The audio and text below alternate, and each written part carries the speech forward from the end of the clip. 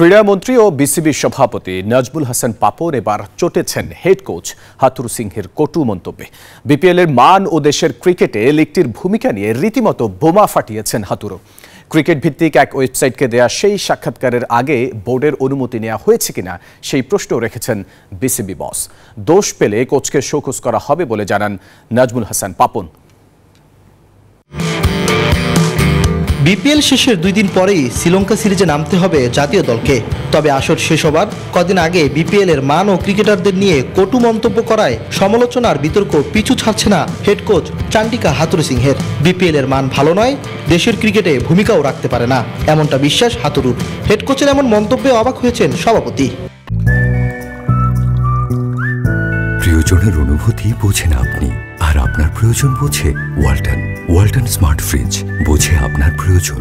পূর্বানুমতি ছাড়া without prior আর এবং এই বিশেষ করে এই ধরনের যারা আছেন কোচ সিলেক্টার্স প্লেয়ার্স তাদের সাথে একটা আমাদের লিখিত চুক্তি আছে যে তারা মিডিয়াতে কিছু বলার আগে আমাদের কাছ থেকে পারমিশনটা নিতে হবে। এখন ফার্স্ট জানতে হবে আমাদের, আমার যে আপনারা যেটা বললেন এটা কি বলেছে এক্স্যাক্টলি সেটা আমি যদি না জানি তাহলে মানে এটা নিয়ে কিছু কমেন্ট করা কঠিন। এই মন্তব্যের সত্যতা ও যাচাই বাছাই করে প্রয়োজনীয় ব্যবস্থা নিতেও পিছু পা হবে না ক্রিকেট বোর্ড সাব জানিয়েছেন বিসিবি বস।